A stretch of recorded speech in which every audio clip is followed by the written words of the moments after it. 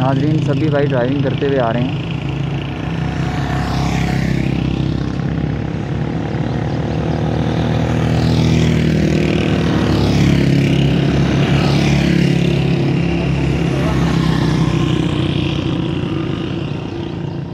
Road पे बहुत मज़ा आ रहा है ड्राइविंग करते हुए।